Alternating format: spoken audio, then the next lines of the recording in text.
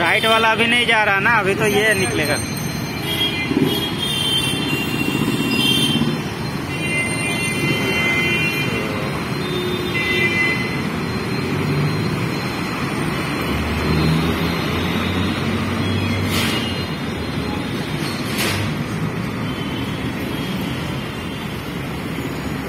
Traffic ही बहुत कम है।